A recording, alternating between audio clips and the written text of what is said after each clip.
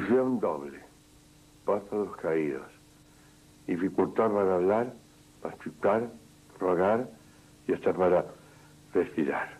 Son síntomas de miastenia gravis, una enfermedad difícil de diagnosticar. Este maquillaje me lo quito en segundos. Pero los síntomas de miastenia gravis, sin diagnosticar o mal diagnosticados, empeoran día a día.